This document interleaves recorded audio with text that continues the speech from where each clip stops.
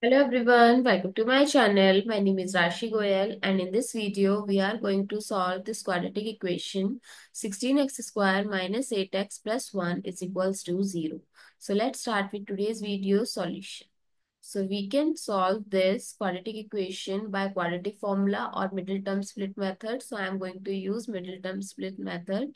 So I am going to write negative 8x as negative 4x negative 4x plus 1 is equals to 0. Now from first two term, if I'll take 4x as common, so 4x minus 1 and if I'll take negative 1 as common, 4x minus 1 is equals to 0. Now 4x minus 1 is common, so 4x minus 1 is equals to 0. So we can say that 4x minus 1 whole square is equals to 0.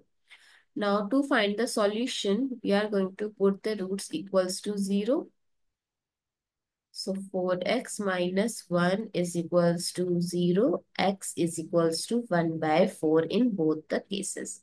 I hope it's clear and you find it useful. So please give us a thumbs up and do subscribe to my channel. Stay tuned for more upcoming videos.